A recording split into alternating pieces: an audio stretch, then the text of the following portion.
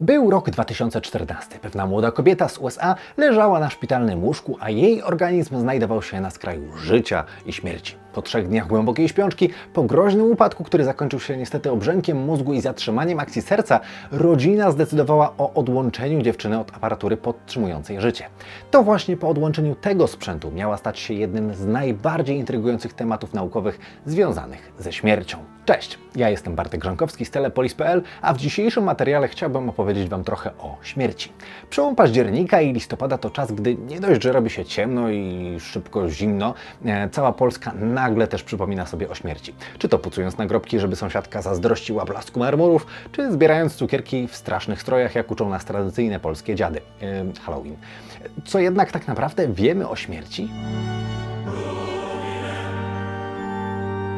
Przez lata nie wiedzieliśmy nic, albo prawie nic. Ewentualnie mogliśmy uwierzyć w to, że czeka nas coś po śmierci. Niebo, piekło, uczta łodyna albo dziewięć żyć jako kot. Ale postępująca medycyna pomogła nam nieco odsłonić tę tajemnicę. Sporo zmieniło chociażby się przez postępy w przywracaniu życia ludziom przez resuscytację.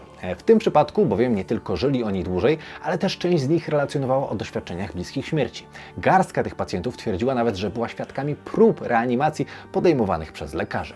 Według kilku międzynarodowych ankiet i badań cytowanych przez The Guardian, jedna na 10 osób twierdzi, że miała doświadczenia bliskie śmierci związane z zatrzymaniem akcji serca lub podobne doświadczenia w okolicznościach, w których mogliby być bliscy śmierci.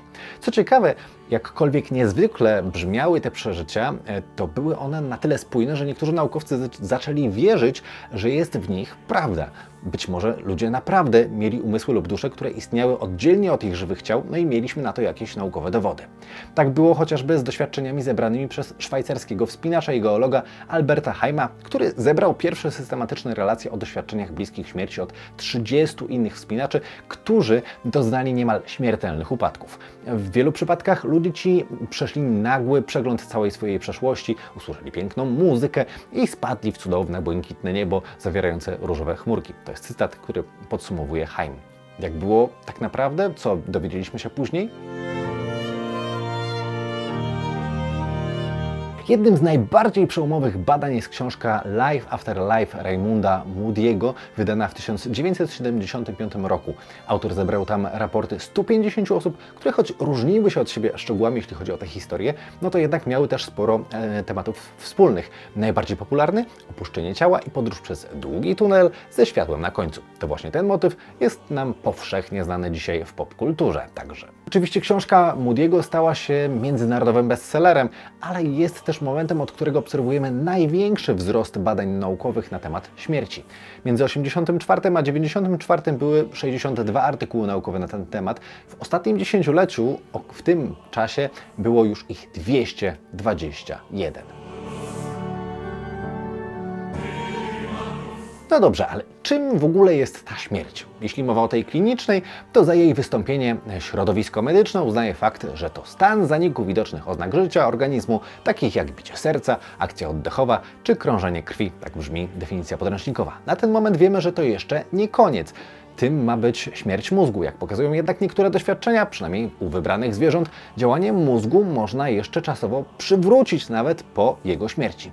Razem z rozwijającą się reanimacją pokazuje to, że śmierć jest raczej procesem niż konkretnym punktem na końcu naszego życia. Choć po zatrzymaniu akcji serca krew i tlen przestają krążyć w organizmie, komórki zaczynają się rozpadać, a normalna aktywność elektryczna w mózgu zostaje zakłócona, to jednak nasze organy nie ulegają od tak od razu nieodwracalnemu uszkodzeniu, a mózg niekoniecznie całkowicie przestaje funkcjonować. Często nadal istnieje możliwość powrotu do życia. Dziś ludzie są ożywiani nawet 6 godzin po tym, jak zostali uznani za klinicznie martwych, czyli zatrzymało się im serce. Proces śmierci jest bowiem dużo bardziej skomplikowany, czego dowodzą m.in. badania przeprowadzone przez Jimo Borgigin, profesorkę neurologii z Uniwersytetu Michigan na wspomnianej e, wstępie młodej pacjentce. Naukowczyni ta nie wierzyła w opowieść o spotkaniu ze zmarłymi krewnymi, o podróżach poza ciałem. Uważała, że stoją za tym wszystkim nie zjawiska paranormalne, a prawdziwe procesy w mózgach pacjentów. Najpierw odkryła, że w przypadku szczurów po zatrzymaniu akcji serca i utracie tlenu w mózgu w ich głowach ma miejsce wręcz prawdziwa burza neuroprzekaźników, czyli substancji chemicznych pośredniczących w przekazywaniu informacji pomiędzy komórkami układu nerwowego, a potem okazało się, że podobne procesy występują u człowieka. Jak relacjonuje badanie The Guardian, po odłączeniu pacjentki od tlenu w jej umierającym mózgu nastąpił gwałtowny wzrost aktywności. W szczególności części mózgu, które naukowcy uważają za gorącą strefę świadomości, stały się dramatycznie żywe. Mowa m.in. o obszarach związanych z przetwarzaniem świadomych doświadczeń, te same, które działają, gdy poruszamy się po świecie na jawie i gdy mamy żywe sny. Co ciekawe, kontaktowały się one z fragmentami mózgu biorącymi udział w tworzeniu pamięci.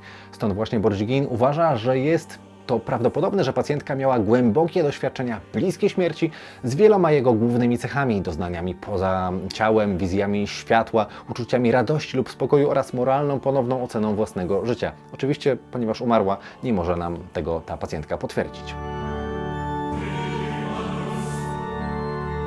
Wychodzi więc na to, że śmierć może być dużo bardziej żywa niż się spodziewaliśmy, ale wciąż wymaga lepszego zbadania. Być może dzięki temu uda nam się w przyszłości przywrócić do życia nawet ludzi, którzy ulegli już śmierci mózgowej. Być może będziemy w stanie także lepiej zrozumieć zagadkę doświadczeń bliskich śmierci.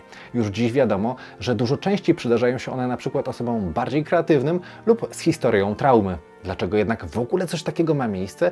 Na to pytanie wciąż nie mamy nomen omen ostatecznej odpowiedzi. Być może jednak najlepszą lekcją z tych wszystkich doświadczeń bliskich śmierci jest właśnie wniosek, że być może nie pokazują one, co jest możliwe w życiu po życiu, ale to, co jest możliwe tu i teraz, w naszym mózgu, który wciąż ma przed nami tyle zagadek. Czy działa niezależnie, czy jest jednak związany z odrębną świadomością, a może to właśnie dusza, o której mówią ludzie wierzący. Dajcie znać, co Wy o tym myślicie, oczywiście w komentarzach. Jeśli jeszcze nie subskrybujecie naszego kanału, to zachęcamy do dołączenia. Tymczasem dzięki za dziś, do zobaczenia, do następnego. Cześć!